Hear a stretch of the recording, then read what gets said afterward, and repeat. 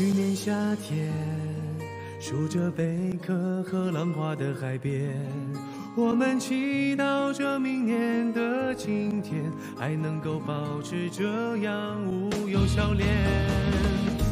你是夏天，有海风吹过棕榈的蓝天，让我忘记了眼泪有多咸。